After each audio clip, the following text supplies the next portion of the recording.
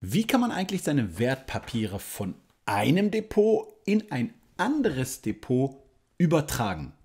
All das erfährst du im heutigen Video.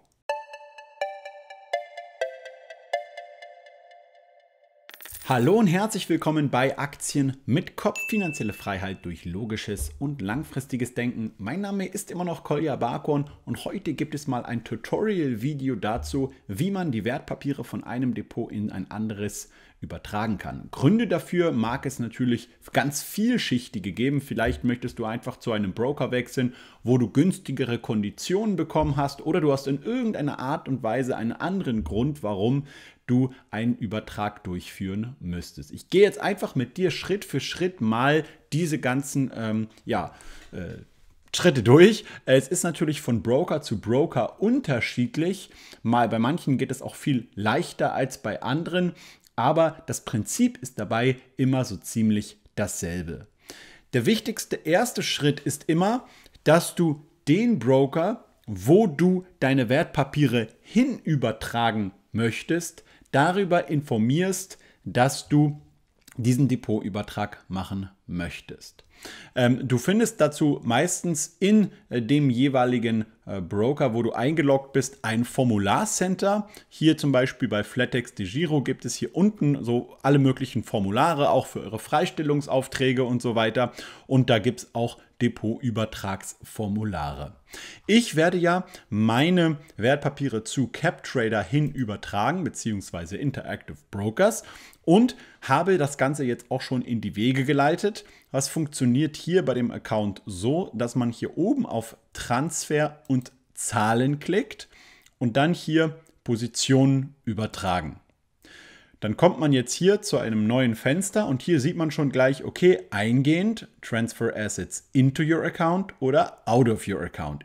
Ich muss also niemals alle meine Wertpapiere übertragen. Ich kann auch einzelne Positionen übertragen und ich muss noch nicht mal die kompletten Positionen übertragen. Also ich kann auch, wenn ich will, nur zwei Aktien von einem ganzen Depot äh, übertragen. Ist natürlich die Frage, warum man das machen sollte, aber man ist jetzt hier nicht irgendwie gebunden, dass man sagt, man muss immer das komplette Depot übertragen. Ich würde jetzt in diesem Fall also hier eingehend wählen. Zack. Und dann wähle ich jetzt also aus, okay, von woher möchte ich eigentlich die Wertpapiere übertragen. In diesem Fall ähm, All Other Regions. Ich möchte ja nicht aus Kanada oder aus den USA oder so meine Wertpapiere übertragen. Würde jetzt hier All Other Reg Regions anklicken. Und jetzt habe ich hier diesen Free of Payment Transfer of Global Securities angegeben. Hier steht drin, okay, äh, Interactive Brokers, äh, also charged hier keine Fee. Es kostet also hier seitens dieses Brokers nichts, Wertpapiere zu übertragen. Wohl bemerkt, ich habe jetzt bisher bei dem Depot, wo jetzt die Aktien noch liegen, noch gar nichts unternommen. Das kommt erst dann später im zweiten Schritt. So, jetzt gehe ich hier einfach auf Select und schaut mal hier. Hier kann ich jetzt die ganzen Informationen eingeben von dem Broker, wo jetzt noch meine Wertpapiere liegen. Okay, ich würde jetzt also hier in diesem Fall, genauso wie ich es seit in den letzten Tagen gemacht habe, bei mir in diesem Fall De Giro eingeben, ne, weil von diesem Konto will ich ja die ganzen Wertpapiere übertragen und dann muss ich halt eben einige Daten eingeben, zum Beispiel Account Number at Broker. Ähm, das gibt es bei De Giro zum Beispiel gar nicht. Da trägt man dann beispielsweise den De Giro Nutzernamen ein, was das für ein Kontotyp ist und so weiter und all die ganzen Informationen, Adressdaten, das muss man natürlich einzeln dann einfach raussuchen. Das brauche ich jetzt hier für euch nicht irgendwie irgendwie komplett durchzuexerzieren. Und dann gehen wir aber hier schon unten zu den eigentlichen Wertpapieren. Hier gebe ich dann einfach an Add Asset. Ja, wähle aus, okay, was möchte ich übertragen? Ich kann natürlich auch andere Wertpapiere übertragen. Ich möchte natürlich hier gute alte Aktien übertragen und kann jetzt hier einfach, okay, überlegen, okay, Suchtyp, äh, Suche nach ISIN gebe dann hier die ISIN ein. Machen wir das Ganze mal einfach anhand eines Beispiels kurz durch. Ich habe jetzt hier schon das Formular von De Giro ausgewählt, aber ähm, ja, ich kann jetzt leider hier nichts gerade sehe ich kopieren. Nehmen wir einfach mal diese Apple falls das funktioniert. Genau, das ist jetzt in diesem Fall die Apple-Aktie. Wir tun jetzt einfach mal so, als hätte ich die in dem Depot gehabt. Und jetzt wähle ich noch den Börsenhandelsplatz aus. Hier kann man so ein bisschen sich verwirren lassen, weil jeder Broker für verschiedene Börsen beispielsweise auch unterschiedliche Kürzel hat. Beispielsweise für die Xetra-Börse ist das Kürzel bei DeGiro XET bei IB bzw ähm, CapTrader ist es aber IBIS, ja, und das kann man eben auch hier, wenn man sich zum Beispiel auch anguckt, okay, welche Börsen gibt es hier überall zur Verfügung, dann sieht man halt immer, okay, unter welchen Kürzeln haben die jeweils die jeweiligen ähm, Aktien äh, Börsen gelistet, meine ich, meine ich. Aber was ich auch mir habe sagen lassen, viel wichtiger ist als der Börsenhandelsplatz, ist die Währung, dass eben die Währung hier richtig korrekt übereinstimmt. Ich würde jetzt hier also zum Beispiel, nehmen wir mal an, ich hätte jetzt Apple äh, damals an Etc. gekauft, dann gebe ich jetzt hier IBIS beispielsweise ein, ja, weil das ist eben das Kürzel für die Xetra-Börse. Und jetzt steht hier, okay, Apple Long, ne, IBIS ist die Börse, alles so weiter. Und jetzt gebe ich hier an, okay, wie viele Aktien möchte ich übertragen? Beispielsweise 20 oder 15 oder je nachdem,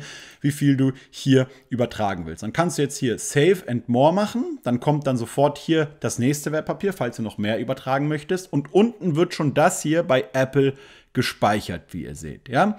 Ich habe ja jetzt schon meinen Depotübertrag und so weiter angewiesen, deswegen muss ich jetzt hier keine weiteren machen. Im anderen letzten Schritt würde man dann hier unten einfach auf Weiterklicken, wenn man fertig ist und alle Daten sozusagen eingegeben hat. Das ist einfach halt die lange Liste an Aktien, die man halt je nachdem, wie viele man übertragen will, ähm, hier einstellen muss.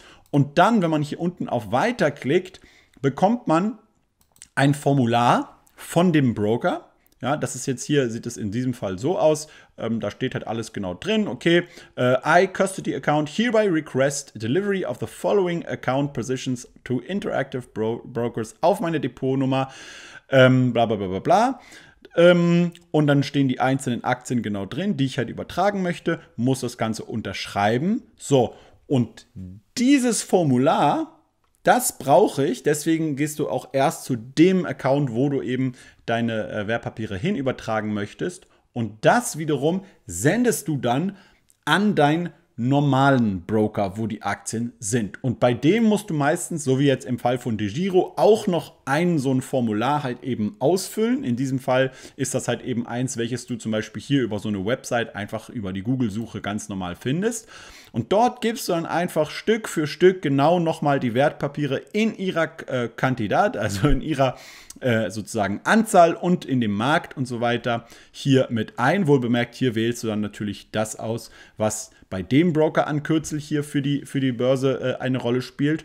Und Musst halt natürlich nochmal alles durchlesen. In diesem Fall war es zum Beispiel so, dass DeGiro auch nochmal eine Unterschrift von CapTrader haben wollte auf einen Depotauszug von DeGiro. Das habe ich dann auch noch erstmal bei CapTrader, äh, wie gesagt, ähm, ja, eingeholt, diese Information.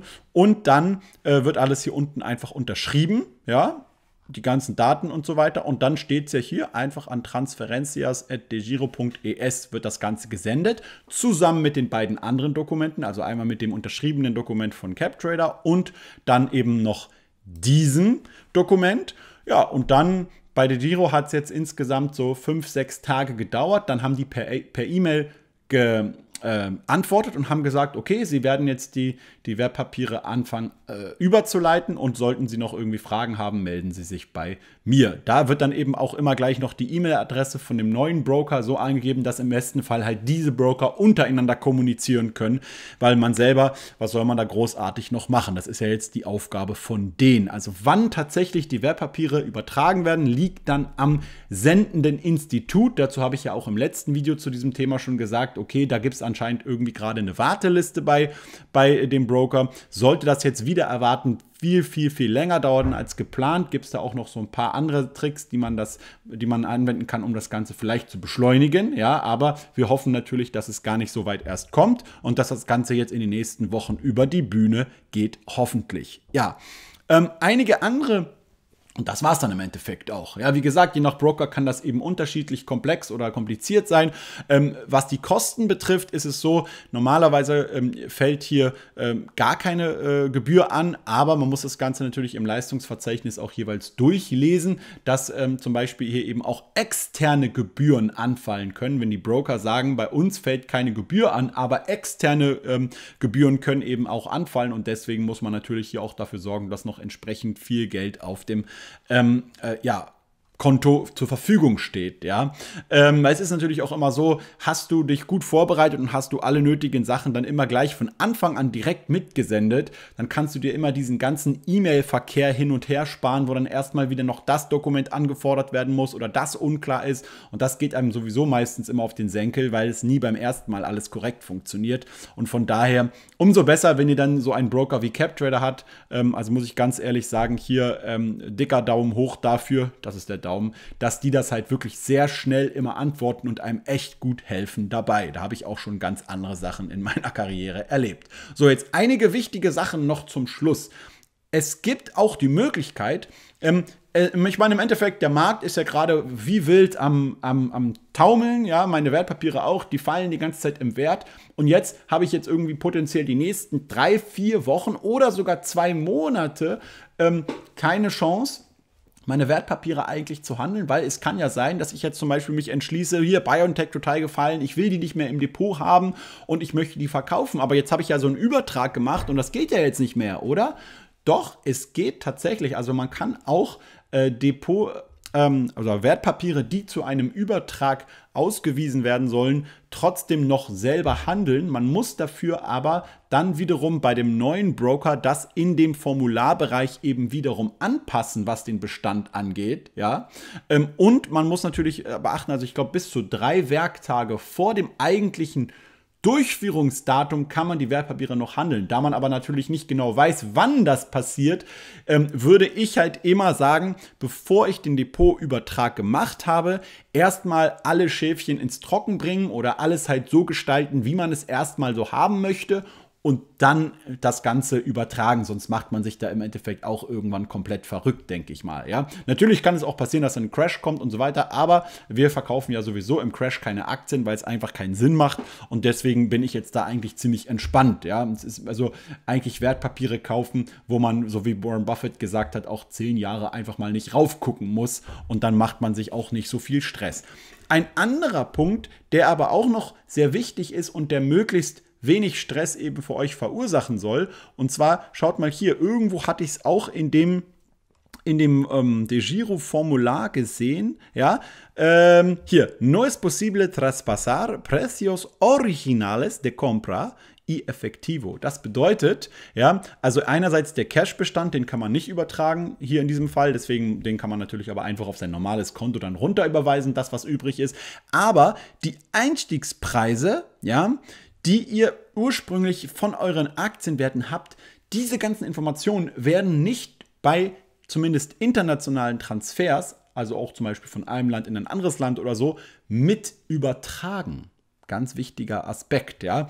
Und deswegen, es gibt dann auch, das ist meine Information, nochmal so ein Tutorial, wie man diese Einstiegskurse nachträglich dann einträgt. Ich muss das dann ja auch machen, wenn meine Wertpapiere dann final da sind. Dazu mache ich dann nochmal ein extra Video. Aber ähm, dazu habe ich mir gesagt, okay, wenn diese Einstandskurse tatsächlich auch nicht übertragen werden, dann mache ich jetzt eben schon auch meine Hausaufgabe und habe hier wirklich von Anfang Einrichtung des Depots, also ursprünglich führe ich ja das Firmendepot schon seit 2015, da hatte ich aber noch einen ganz anderen Broker auch dafür benutzt, ja, das, diesen BNP-Broker. Und ich habe jetzt hier einfach mal von Anbeginn aller Zeit hier wirklich so der erste, wann, wann war der erste Wertpapierkauf? Schaut mal hier, Aurelius Equity Opportunities war, war tatsächlich der erste Wertpapierkauf hier bei der Giro 2017. Dann habe ich noch Take Two gekauft, ähm, Berkshire Hathaway, Netflix, ja, schöne super Aktien, auch Starbucks und so. Und all diese ganzen Preise, ja, mit den jeweiligen Werten und Informationen habe ich mir jetzt hier schon mal runtergeladen, damit ich dann, wenn ich im Endeffekt ähm, diese auch eintragen muss, schon die Daten habe. Ja, keine Ahnung. Vielleicht komme ich dann ins DeGiro-Konto gar nicht mehr rein oder es wird direkt gekündigt und keine Ahnung, ob sie mir dann nochmal so ein Statement geben. Deswegen lieber vorher die ganzen Einstiegspreise schon mal sichern. Ich habe sie auch bei Portfolio Performance äh, sowieso drin und das war's dann. Ja, das muss man halt eben machen. Es ist also mit ein bisschen Arbeit verbunden, aber so ist das Ganze eben. Jetzt wisst ihr zumindest schon mal so vom Prinzip her, wie das Ganze funktioniert und könnt selber, falls ihr es mal irgendwie braucht, Wertpapiere von einem Broker zu einem anderen Broker übertragen. Ja, vielleicht geht das in Zukunft im Metaverse oder mit der Blockchain nochmal ganz anders, keine Ahnung, aber jetzt aktuell ist es eben noch so ein bisschen Papierkrieg, wenn auch online Papierkrieg. Okay? Das war's für dieses Video. Hat mich auf jeden Fall gefreut, wenn du bis hier durchgehalten hast. Ich meine, es ist ein wichtiges Thema, aber immer natürlich auch so ein bisschen langweilig, ja. Aber so ist halt eben das Leben. Es kann ja nicht eben jeden Tag immer von morgens bis abends Party sein, ja. Außer auf Ibiza, da müsst ihr eine Insel weiter. Okay, bis dann, macht's gut. 找